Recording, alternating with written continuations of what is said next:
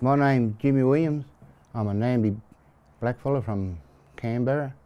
This is the last of the brolga bird what I've seen out at Lake George about 50 years ago and I've seen them there all stretching themselves so they can get their wings and that flapping and everything like this so they can fly away from this lake because there was no more water left in it and all the birds went from this dry area from that dry area and they flew away to a wet area somewhere, somewhere, I don't know where, but they flew away and haven't come back.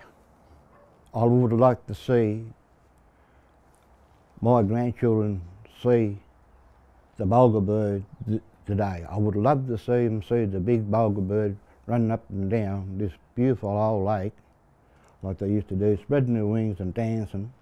They bring dancers and everybody together to learn their dances. And uh,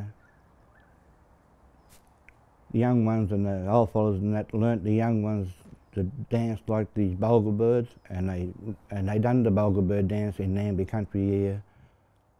Yeah, I'm really proud of my dad. He's been painting for a very, very long time now, around um, 30 years, maybe a bit longer. I've been painting for around 20 years. He's taught me everything I know and yeah, he yeah, it makes me feel good, me and him painting together. This is about the old python guarding her eggs. We call it mugga mugga. That's the actual word for the giant python.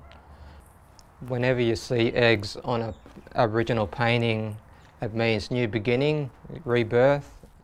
These are my son's handprints and mine. I got these feathers from dead birds laying around on the roads and stuff when I used to walk my dog. Very nice feathers. They've been washed and clean. Actually used to hunt pythons and kangaroos, uh, goannas. Um, used to fish a lot. This is a painting of the old rainbow serpent.